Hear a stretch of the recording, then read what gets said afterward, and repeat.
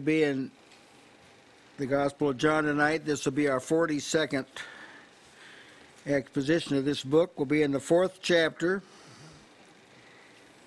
verses 4 through 6.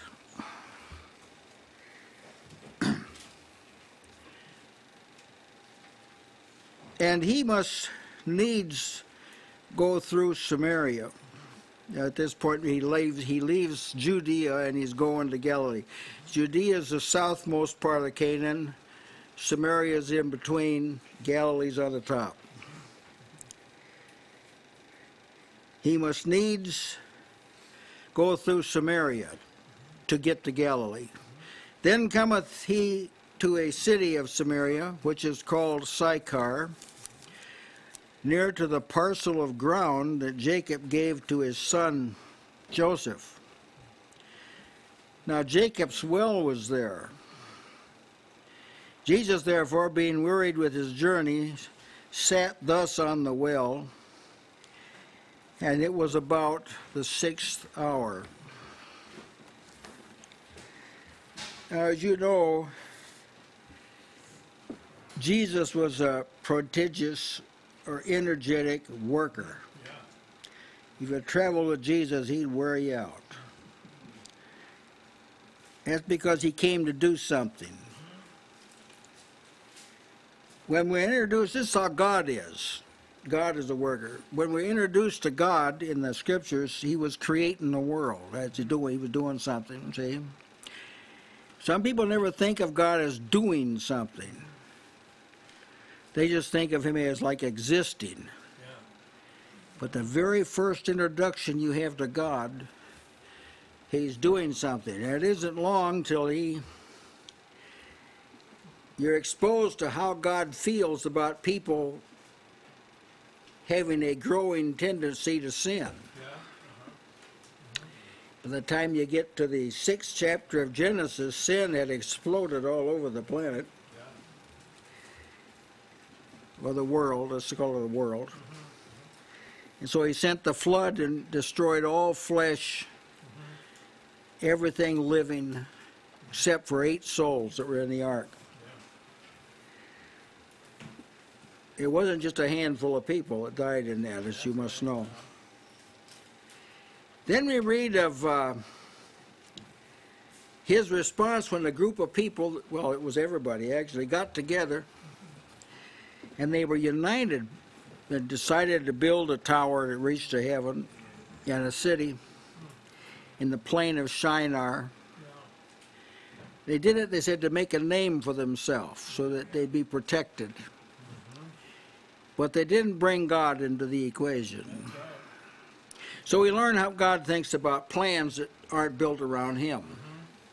So he went down and destroyed that whole project.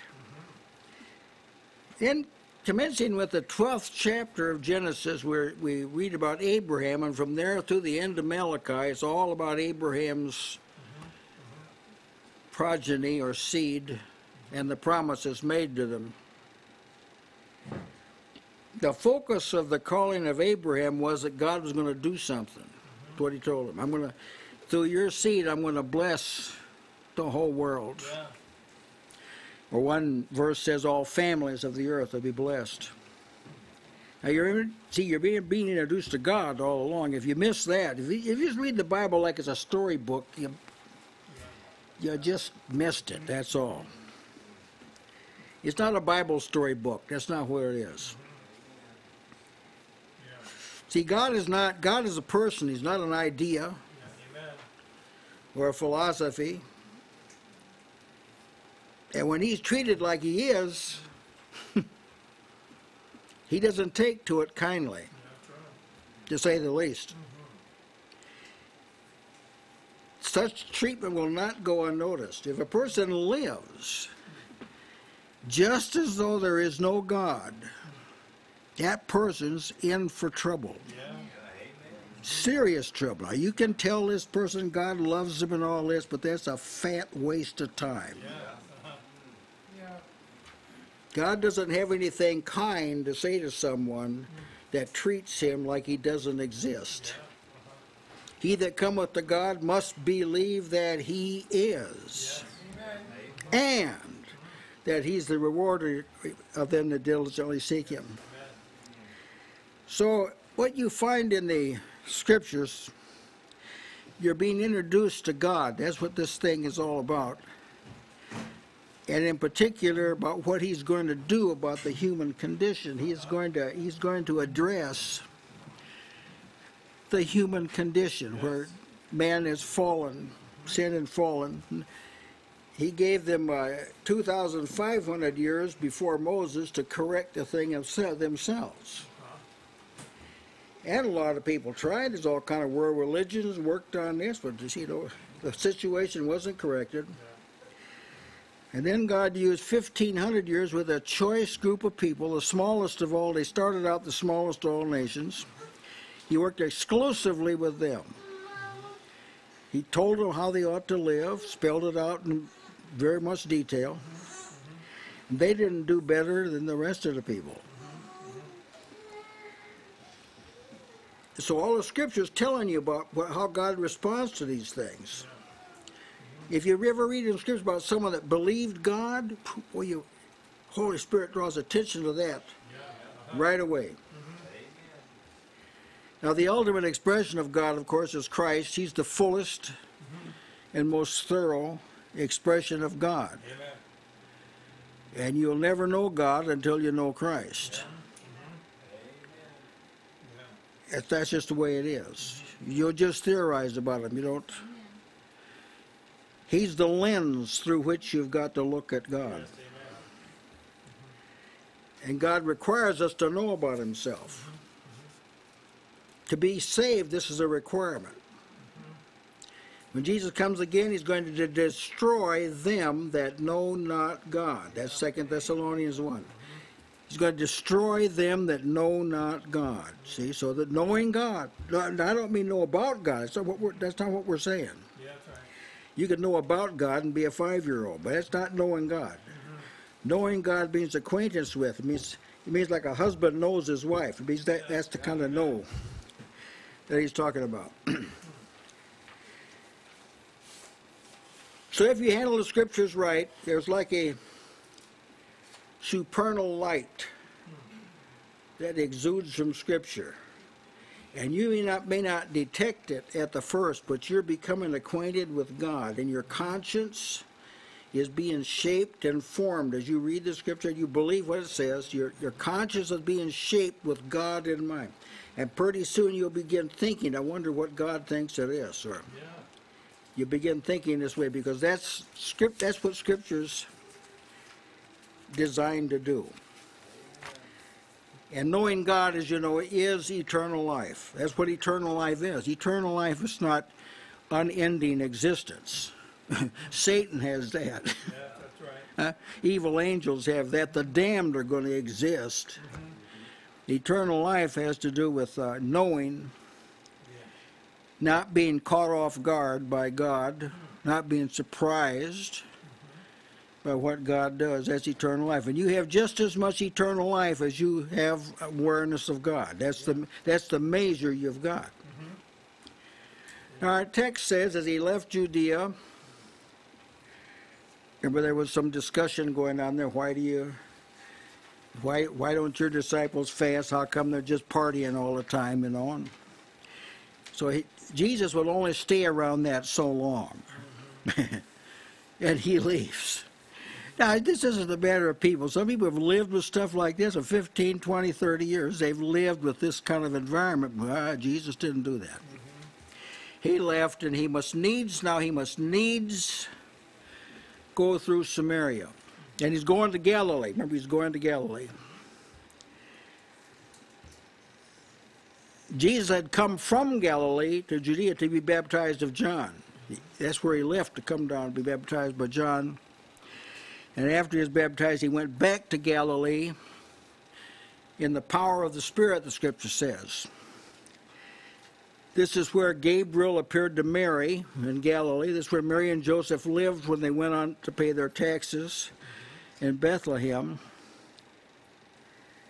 This is where Jesus worked his first miracle, turning water into wine in Galilee. Now he goes to Galilee and he's got to pass through Samaria. Now, Samaria was in the promised land, but it wasn't the same.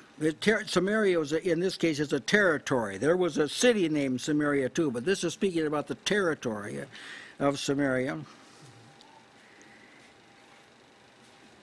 And it was different than Judea and Galilee. This was a territory that was ruled historically by Jeroboam, who led the people astray and they never got over it. He ruled out of Samaria. That was a, that was a place he was ruler over. He's the one that had two golden calves built. He said it's see that you were to go to Jerusalem for the Passover and things like this. He says that's too far, too far to go to make that long journey. So we'll set up some golden calves, one in the northmost part of the land, one in the southernmost part of the land, and we'll make it convenient for you to, so you won't, you won't have to lose any time or be inconvenienced by worshiping God. Jeroboam did that. God never got over that. Yeah. If you're familiar with Scripture, this is the sins of Jeroboam surface of the, in the prophets at every place. They surface all the time. He instituted idolatry. Yes. The point of that was he didn't want the people to go to Jerusalem. That's right. Because he was afraid that would draw them back to Rehoboam. That's right. And unite the kingdom. If he was gonna keep his place, he had to, he had to keep that, that spiritual component separate from mm-hmm. Jerusalem. Amen. But God said, I've put my name in, Yeah. in this place. Amen. Yeah. He was not willing to believe God. God gave him that kingdom. That's right. Yes. God could keep it, but he interfered with that. Yes, he refused did. to believe what Yeah. God said. Well, Samaria got, he must needs go through Samaria. So we're identifying what, what he had to go through here. Mm-hmm. now, because of Samaria's sins, God sent the king of Assyria, who besieged Samaria for three years. And finally, he carried away all Israel capital, uh, all Israel captive. Samaria, the city of Samaria, was their capital city. And then this king of us, the king, imported after he'd emptied the land. See, everybody's out of the land. So what he did, he he brought men from Babylon, and from Cut- and from Ava, and from Hamath, and from Sepharvaim, and placed them in the cities of Samaria instead of the children of Israel, and they possessed with Samaria and dwelt in the cities thereof. So here's this these heathen. And now God didn't like this. So the text says God sent lions, carnivorous lions. Here's what it says. The Lord sent lions among them, which slew some of them. So he had some. He had some mercy on them. He didn't just wipe them out. How's that? Does anyone ever? Would anyone think that God would send lions? Huh? into a place to kind of thin out the inhabitants. That's what he did. Well, these people, they were a little more alert. They weren't as far gone as our country is. So a message came to the to the king, king of Assyria, and here was the message: The nations which thou hast removed and placed in the cities of Samaria know not the manner of the God of the land. The God of the land. Remember, God called Canaan his land. Therefore, he has sent lions. No, now a prophet didn't tell him this. The people, these people deduced this. Therefore, he sent lions. Behold, they slay them because they know not the manner of the God of the land. Well, the king, he know, he knows what to do. The king then commanded, carry thither one of the priests. We got to get one of the priests. Carry one of the priests whom thou hast brought from thence, and let him go down and dwell there, and let him teach them the manner of the God of the land. This would be like the President of the United States said, Look, the people forgot God. We got to bring in here someone that knows God to teach the people they got to fear God. Yeah. Uh-huh. Now, our, the law of the land would not permit that to be done. Yeah, that's right. Hmm? Mm-hmm. I dedicate this to the fathers of the country. Yeah, They didn't foresee this. that's right. So that leads a lot of questions to whether God established this country. Yeah, that's right. I'm not saying he didn't, I'm saying it'd be pretty hard to prove. The king then commanded, carried thither one of the priests, which he brought thence, and let him teach the people about the God of the land. Then one of the priests whom they had carried away from Samaria came and dwelt in Bethel and taught them how, taught them how they should fear God. Oh, taught them how they should fear God. now, eventually, the outcome of this, some people being imported, there pretty soon some, there were some Israelites left there. Some years later, Hezekiah had a Passover feast, and he invited some of the Israelites that had been left in the land. So there was a remnant of Israelites that were left in the land; they didn't empty it. And eventually, the Israelites and the these foreign people intermarried. And uh, brought a mixed multitude. You might be interested to know that when Jesus first sent out his disciples to preach, he said, Don't go to any city of the Samaritans. I remember that. Jesus said that. Don't Right. don't go to any city of the Samaritans. And when he was journeying one time, it was a Samaritan city that refused to accept him. Because they knew he was, he was really headed for some place there not beside them, and so they refused to receive him. And some people approached Jesus and they said, You're a Samaritan, and you've got a demon.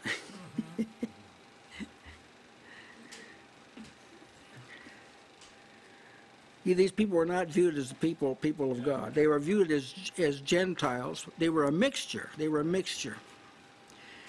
Now, this wasn't the uh, last time something like this happened. It's proved true all through history that whenever the people of God mix with the people not of the of the God, then the whole batch of them becomes not of God. Yeah. Whenever something pure is mixed with something impure, the whole thing becomes impure. That's right. Yes, that's what happens. Now, this happened uh, in the days of Nehemiah. This had happened. Here's what the scriptures say. I'm, now, I'm commenting on this mixed. This is the area he passed through, and the kind of people that lived there were a mixed people. In those days, also saw I the Jews that had married wives of Ashdod, Ammon, and Moab. And their children spake half in the speech of Ashdod, and could not speak in the Jews' language. Yeah. Boy, this ought to. There's a lot here. They couldn't speak in the Jews' language. And it, that Jews' language is mentioned several times in Scripture. God gave them a special language, the Hebrew language. Right. And I've talked with some noted linguists about this, and the Hebrew language is not totally unlike any other language. It's all based on affirmations and it's all centered in God. It's a different kind of language. But they mixed it. And you remember Nehemiah got pretty upset about that. He pulled some men's hair out and plucked the hair out of their beards, and he got pretty, pretty violent about it. Now, Paul, see, he, knowing this manner, he said to, to the Corinthians and to us as well, be not unequally yoked together with unbelievers. Don't do it. Amen. That's right. But there's nobody else. Don't do it, is what he said. For what fellowship hath righteousness with unrighteousness, and what communion hath light with darkness? It's like trying to yoke up Jesus with the devil. It, Don't do it. These people did it. You had this uh, mixed multitude of people. When Israel came out of Egypt, there was a mixed multitude, non Israelites, that came out with them. Hmm? And that mixed multitude is the ones that made them want to go back to Egypt. Remember they said they remembered the melons and leeks and garlics? Listen, the Israelites weren't eating melons, leeks, and garlic. Yeah. This wasn't their diet. That's not what they were eating in Egypt. It's what this these mixed multitude. And so the mixed multitude commenced to murmur, and it set the whole camp of Israel up a murmuring. This mixed multitude. Now, I don't have the time. I don't don't think it's justified to take the time, but I think if you trace the corruption that exists in the church to its source, you'll find somebody got mixed. Yeah, yeah. Someone from the world got in. Uh-huh, yeah, See, now we've got, in our day, we've got evangelistic and missionary programs that are calculated to bring these kind of people into the church. And they cite reasons for it, but this mixed multitude, this is, that this sounds a death knell. Nobody's ever survived this in history. No one has ever survived mingling the godly with the ungodly. It always turned out bad. So Jesus passes through. We're trying to find our text. He did stay there for two days because there were some people that wanted to know more. But this this is the only time he visited Samaria. And this text is the first time Samaria is mentioned in in the scriptures, in the New Testament scriptures. Now, to me, the Samaritans were a half breed. Sees what they were. The modern nominal church is like Samaritans. Y- And everybody see that? They're like Samaritans. They're a, what we call an admixture. They got people meeting together that don't fit together. Some of you maybe make a separate service for them, you know. They're an admixture. They're, like, they're, they're not like the Judeans or the Galileans. See? They didn't have this admixture. But they're like the Samaritans. But it's quite a lesson to be learned there.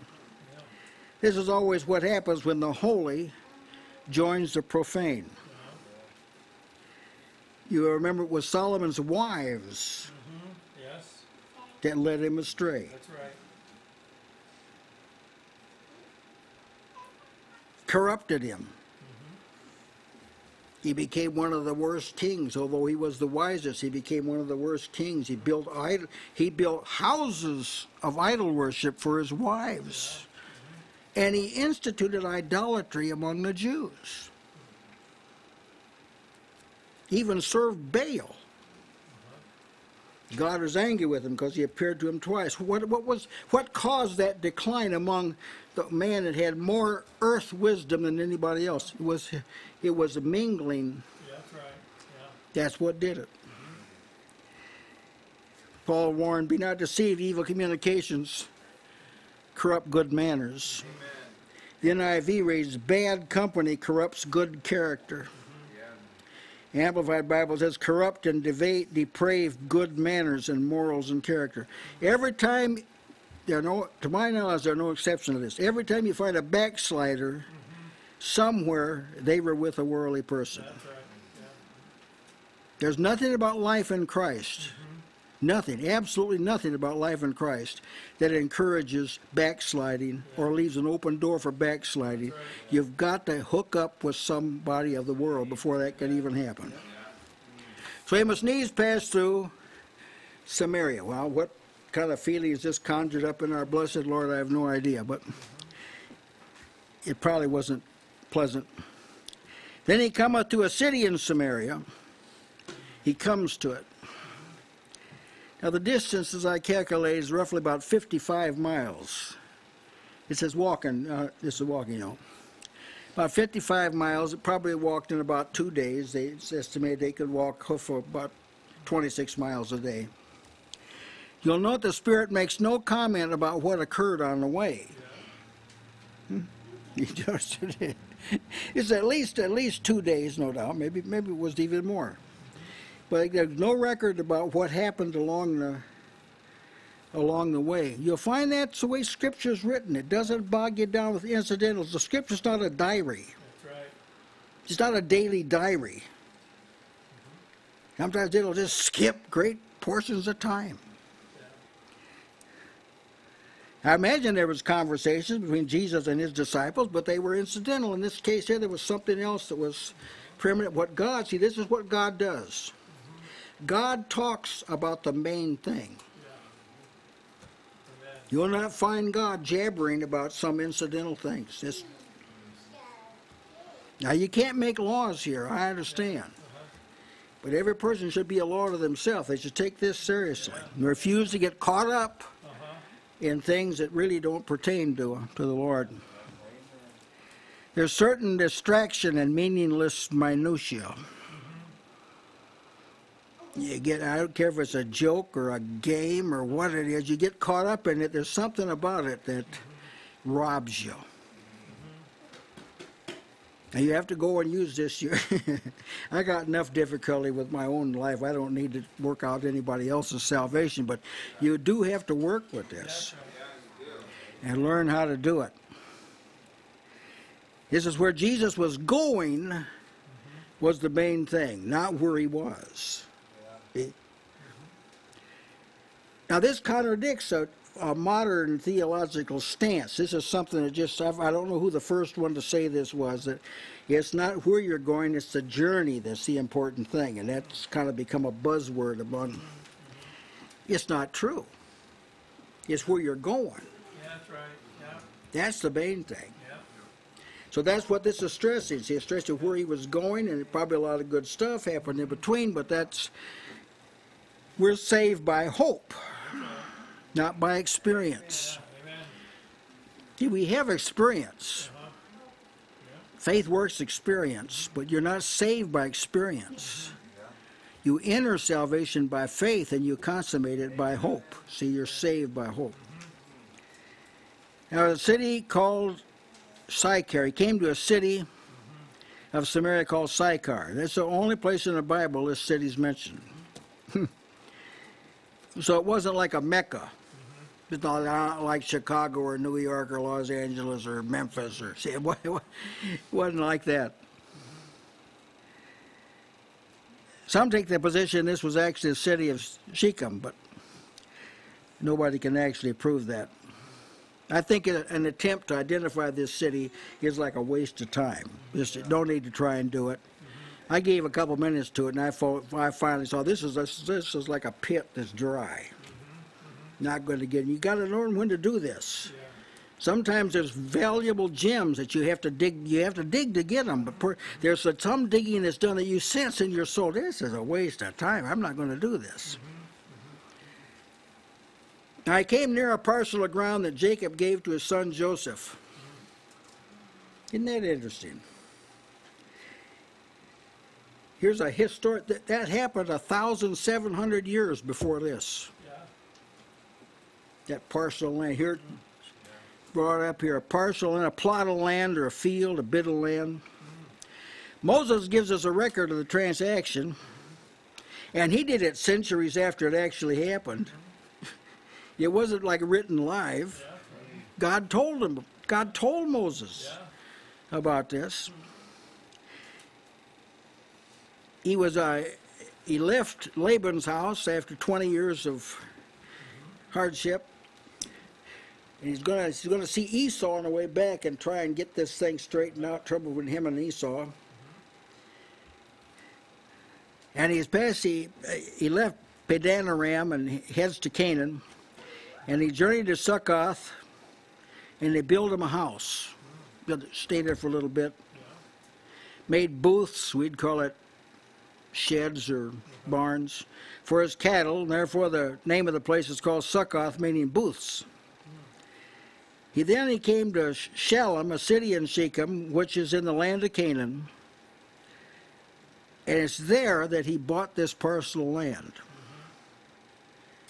where he spread his tent at the hand of the children of Hamor, Shechem's father, for a hundred pieces of money.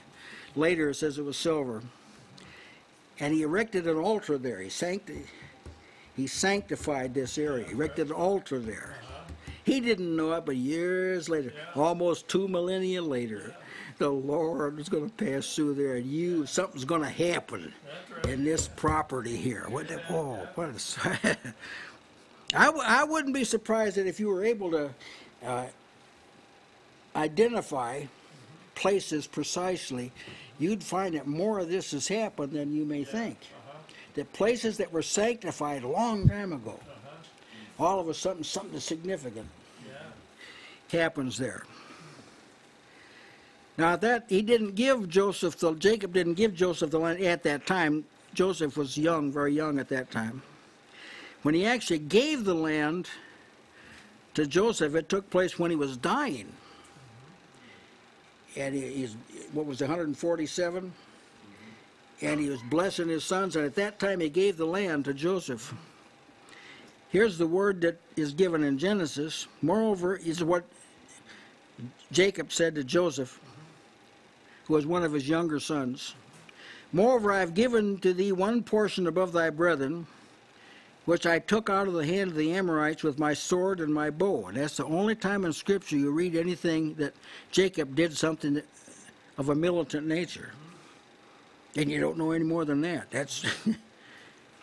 but what I gather this means is he subdued the territory, and then this purchase was a piece of property in the territory he subdued.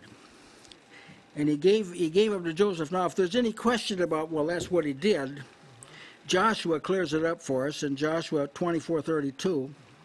And the bones of Joseph, which the children of Israel brought up out of Egypt, buried they in Shechem, in a parcel of ground which Jacob bought of the sons of Hamor, the father of Shechem, for a hundred pieces of silver, and it became the inheritance of the children of Joseph. So just that's that's the land. That's right. See, that's the land he's talking about. There was a holy transaction that took place. They kept that record for almost five hundred years. That's right. Yeah. From Isn't the that time of something? purchase to the time they put Joseph Bones in, it's almost five hundred years. Mm-hmm. So remarkable. This purchase was made by the will of God. See, God was in this, He was in all of this. Yeah. But God, in working out His will, the people who work it out don't always know they're, they're the ones working it out. That's right. Yeah. That's why it's important to live in a holy, godly manner. Amen. Don't let your life center around you. Uh-huh. Don't do this. You'll miss stuff like this because there's a lot of things God does that doesn't center in you. Mm-hmm. Yeah. You're involved, but you're not at the heart of things. But the world is crying out for you to be the heart of your life. Think about yourself. You only go around once, and all this sort of thing. See, don't don't don't live like this. And actually, that's the most frustrating way to live, anyway. You more disappointments realized then. Notice the heritage of the people of God. There were places that were significant. Bethel, yes, significant place. Jerusalem, Cana of Galilee, significant place. There's significant places, and you've you've got some in your life. You, there are some significant places where major shifts in the way you thought and how you lived took place. Never forget those places and those times because there are indications of the Lord working. I think when Jesus went about doing good and healing all that were oppressed of the devil, he was establishing all kind of places like this. The work of God must be accomplished, you see, in an environment of light. It's not going to be done. God's will is not going to be done in the bar Yeah. Right. or the nightclub or the racetrack or the game room. That's not where it's worked out. It's worked out in the light. Amen. And all through history, there were certain places he ordained where there was a little bit more light, more light than there was at other places. In Jesus' time, it was the, it was the temple was a place where you, he delivered more. When Jesus was here, he was in the synagogues. If you see, there were places you could find Jesus. If it come to like structures, physical structures, synagogues, and the temple. That's where you'd find Jesus. Other times, the other up in the mountain, you'd find them on a hillside. You'd find them on the seashore. You'd find them. but there, when it comes to a, a structure, synagogues, temple, maybe a house of someone uh, one that's one of his disciples, like Peter. Galilee and Judea and the Canaan, Galilee and Judea were primary areas. Samaria was a subordinate area. Yes, Brother Jason. It seems to me that, that Samaria would not be on that list of places where you would expect Jesus to go. Yeah, mm-hmm. That's, that's a exactly right. surprising. That's a surprising thing here. The disciples were probably shocked Oh yes, mm-hmm. that he went to Samaria. The Jews would avoid Samaria. that's right. They would walk around it. That's right. They go out of their way to not go through it. Hmm. And this, I think, the reason for this is because this this is anticipating the gospel going to the Gentiles. Amen. The gospel would also go to places like Corinth, which was one of the most wicked cities That's in the right. Greco-Roman That's world. right. Ephesus was the In same. Ephesus, where they worshipped great as Diana of the Ephesians, it was Yeah. a pagan center. Mm-hmm. Yeah. It would go there, and the, the gospel would take their. God was going to take a people for His name. That's what it says in the book of Acts mm-hmm. about the Gentiles. Amen. He was going to take a people for His name Amen. from out of places like Samaria, which Yeah. were previously dark. In fact, he, in fact, he's going to establish one of these places. In this visit, he's going to establish. He's, he come to the well of Jacob, and he like Yeah, resurrects this well as a primary place. And something's going to happen here that we still talk about. that's right. Not only that, but the irony is, is that he got a better reception here That's right. than he got in the temple. That's right. He had to cleanse the temple. Amen. Yeah. They killed him in Jerusalem. Yeah. He went there to die. He didn't die in Samaria. No, Uh-huh. They crucified him in Jerusalem. Yeah, I thought it was interesting too. He didn't go directly to a totally Gentile area.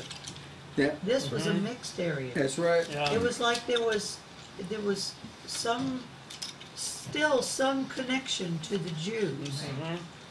And even that small connection, he, he recognized and, and was, he'd come to extract his own. Mm-hmm. Yeah, remember in remember in Acts it says, "You'll be my witnesses in Jerusalem, Judea, Samaria. Samaria, and the ends of the earth." So it's, Amen. It started with the people of God, Amen. and then it went out like in concentric circles. We're going to find in this uh, account that follows later that the Samaritans knew about a Messiah. Well, they got it from the Jews. That's where they got it. He would later say, other sheep have eyes Yeah, and not amen. have soul. That's right. Them also I I must must bring. bring. I must They shall hear my voice, there shall be one fold, one shepherd.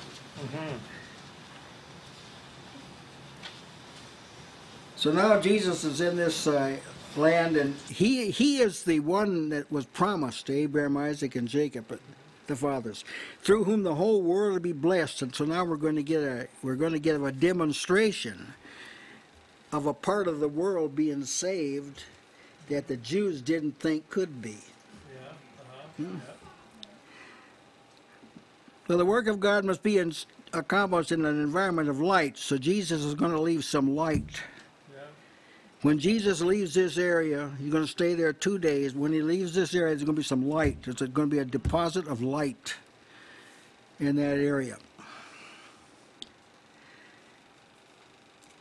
Actually, when the saints come together, mm-hmm. it's like sitting on a well. Yeah. That's what it's like. Well, we do read of the wells of salvation. It's like sitting on a well. Important thing is to be where the water is. Be where the water is. Be where well is. Now the text continues. Jacob's Jacob's well. Jacob? Jacob's well was there. This is the only place in Scripture where this well is mentioned. this is it. The well exists to this day. To this day, this well exists. It's reported, the last report, that it's about 9 feet in diameter and 75 feet in depth. There's no water in it. Think there's some garbage and stuff like that in it. I want to read to you what Easton's Bible Dictionary says about this. He brings up the propensity of people to try and worship a place instead of God. Unfortunately, the well of Jacob has not escaped the misplaced religious veneration, which cannot be satisfied with leaving the object as it is, but must build over it a shrine to protect and make it sacred. A series of buildings of various styles and different ages have cumbered the ground, choked up the well, and disfigured the natural beauty and simplicity of the spot. Now that's a that's a physical representation of what has happened spiritually. You remember when uh, Isaac had to redig, uh, yeah, Isaac had to redig the wells because the Philistines had filled them up. This is what this has happened in church history. The wells of salvation have been stopped up by men, On occasion through history, somebody'd rise and he'd, he'd dig out one of these wells. He'd dig out one of these wells and rediscover the salvation of God or salvation by grace or the electing grace of God. They'd find this well had been filled up with a bunch of rubble. And sometimes you, you do have to do that. You have to unclog the well. But See, the water will flow if it's just un, un, unclogged. It'll flow.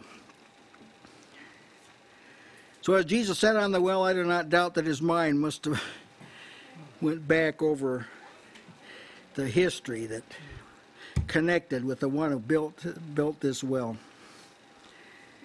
Now it says he was he was wearied with his journey. Now this is the Son of God, Yeah. manifest in the flesh. The fullness of the Godhead dwelt in him bodily. Mm-hmm. And this was a special body he had. Mm-hmm. When he came in the world, he said, A body hast thou prepared me. A special body. It was made for, for death. Your body, your body was made so you could live. That's why you got a body, right? Babies are born, they're they're born to live. That's what Jesus was born to die. Yeah. He was given a special special body. But to be to come in in this form required exceptional humility and condescension. This uh, this is growing on me more and more. It's, it's something that you can't just take hold of academically. What was involved in Jesus coming to earth as a man. Compare this with the uh, with the narrative of John, which covers a time that was over. There have been 1,700 years since that well had been dug. And you notice he doesn't mention any kind of tradition or anything like that. He just goes back, Jacob bought this property and made this well. See? His His mind was uncluttered. The mind of Jesus was uncluttered with incidentals. And uh, yours can be too, but it will take, particularly in our age. We don't have the privacy that people used to have years ago worried with the journey. See, when he came to earth, he had to lay aside a lot of things. He said, when he come in the world, he says, sacrifice and offering thou wouldst not. You know, sacrifices, the victims had bodies, not flesh and blood bodies. It didn't satisfy God. So body, God prepared him. He was sent in the form of sinful flesh. You you couldn't you couldn't tell this was God's son by looking at him or even by touching him. You could, but he was. It was necessary for him to become a man and have a body, but a lot of unpleasantries. For instance, he experienced the helplessness of infancy. Yeah. This is this is the Son of God. Mm-hmm. He experienced the helplessness of infancy. He had to be protected by somebody else, other than other than immediately God. He had advanced in wisdom. Now, can you imagine this? When he before and he was the Word, he wasn't advancing in wisdom. All he with the fullness of everything dwelt in him. See. Yeah. He grew in stature and in favor with God. See, do you think that the, Jesus, when he was the Word, grew in favor with God? Indeed not. This was, he had to lay all that aside. He was tempted. He experienced hunger. Eh, He, he was thirsty. Angels had to minister to him and strengthen him. That's right. This is what was involved in Jesus saving us. See, nobody else would have volunteered. Yeah. Yeah, I was thinking, and, and this experience that Jesus experienced is it was necessary for him to be able to effectively intercede for us. Exactly right. Yeah. Otherwise, he couldn't be touched That's see, right. with Yeah. the feeling of our infirmities. And he knew I mean, God knew this, mm-hmm. so It he was, was- willing. It wasn't just that God said, "Now, "Listen, son, these people have a lot of experiences that he had to walk through the valley himself." Yeah. See, this is you can't generate sympathy academically. Right. You can't just tell people you need to be kind to everybody. That sounds mighty nice. But it takes a little bit more than you need to be compassionate. All right, that we don't question that, but that takes more than that. That's right. And then also in that, then that made him able to transform us. So That's that right. that gave him more. Um, he already had the ability. I'm just thinking about this, but it just made it where the transformation was better. I mean, it was more complete. That's right. I know it, I'm not putting it exactly right, but No, you're, I experienced something just this last week, and, and it was just, it, it was, it was very, well, anyway, I, I could fellowship with it. A person had run out of gas alongside the road. Now, I know that may seem insignificant, but I have run out of gas before. Yeah. So we stopped, and the look on his face when we stopped, it was just, it, it ministered to me. he was like, it's like he didn't know what to do. He's way out in the middle of the country, didn't know what to Yeah. do, and then somebody stops. And uh, it just reminded me of, of so many times when the Lord came through. At, at That's time, right. I couldn't do anything about it. I, I knew I was, just, I was in trouble, but the Lord came through. Yes. And and this person wasn't a believer, but you know the Lord may change that. But but I we had an opportunity, and and I learned something from. I saw something. You you can grow to where you can recognize things in other people. Amen. Amen. Touched with the feeling of our infirmities. The Lord sent him in the form of sinful flesh, but it wasn't sinful flesh. It was you couldn't tell by looking at him, but it wasn't sinful flesh. And it was not just a technicality. This he had to feel That's right. infirmity. Mm-hmm. Yes, He's touched with the. He's not touched with sin. He's not touched with guilt. that's right. You can't touch Jesus with guilt. You can cry and cry and cry because you've sinned, and but this isn't what touches Jesus. What touches Jesus is when you're tempted. Yes, That's that's when you can get grace that's right. Amen. to help in the time of need. And for him to be touched with your feeling of your infirmities, that's why he uh, he was worried. He was worried, exhausted, or other versions say he was tired and wore out. Just wore him out. Yes, brother Jason. You remember how John started this gospel? Yeah, he amen. said, "The Word became flesh and dwelt Yeah. among us." Among us. And then he says, uh, "We've seen His glory, glories of the only Son from the Father, full of grace and truth." That's exactly what Jesus is going to be to this woman at the well. That's right. Here's, Amen. This is God dwelling among us, Yes. full of grace and truth. He's going to show grace and truth Yeah. to this woman at the well. He's Amen. living out exactly what John said about him in the Yes. in the first part of his Amen. gospel. That's his glorious ministry. Now we want to develop, we want to avoid developing a casual attitude about Jesus. He's the Son of God and what he's. You can be too casual about Jesus, and I think this kind of spirit is uh, crept in among people. The manhood of Jesus was necessary to our salvation. If you're going to be saved, Jesus had to become a man Yeah. and experience Right. with the sin being the only exception, he had to experience what men experience, even down to death. Mm-hmm. Very humbling experience for the Savior of the world. Now, this is something God Almighty said through Isaiah 40 and verse 28. Hast thou not known, hast thou not heard, that the everlasting God, the Lord, the creator of the ends of the earth, fainteth not, neither is weary? Have you heard that? Mm-hmm. God is not weary. That's right, Jesus was. that's right, yes, He condescended. amen, He volunteered for this project. Lo, I come to do thy will, O God. See? When it came time to drink the bitter cup, it was so offensive to him. He said, If there's a way, if there's a way yeah, that's right, out of this. Uh-huh. It wasn't because he was afraid of dying. The two thieves on each side of him, they died the same way he did, the same way he did, according to appearance. Uh-huh.